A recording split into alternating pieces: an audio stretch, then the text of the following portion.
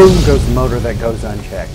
How can you keep tabs on the heart of your beloved beast? A wideband air-fuel ratio gauge is a great way, including various other gauges, including temperatures, pressure, and knock.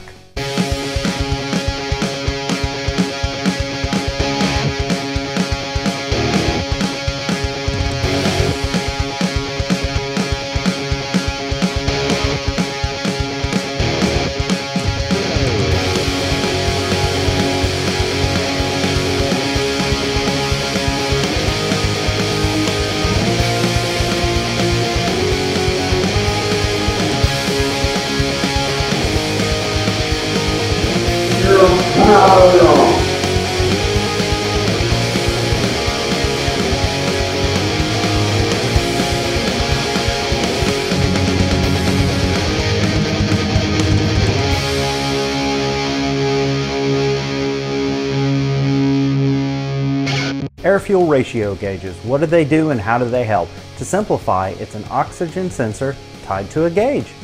They come in two styles, narrowband and a wideband. Narrowbands have three readings, lean, stoich, and rich. Anything above stoich is rich. Anything below stoich is lean. A wideband is more precise and actually gives numeric readings. Wideband air-fuel ratio gauges will read an air-fuel or lambda. Air-fuel will change with fuel type, where lambda will not. For example, 91 pump gas stoich is 14.7, but E85 stoich is 9.75, and that number will change as ethanol contents change. But if you read in lambda, stoich will always read 1. Doesn't matter if it's pump gas, E85, or E40. The reading will always be the same. Wideband air fuel gauges are very straightforward to install. They will require switch power for the gauge and a sensor that will be installed in the exhaust. Pay attention to the specs because different manufacturers require the sensor to be placed at different spaces away from the head and or turbocharger. Most widebands include two outputs, one that can be used to simulate your narrowband sensor and another one that can be hooked to a data logger or standalone ECU.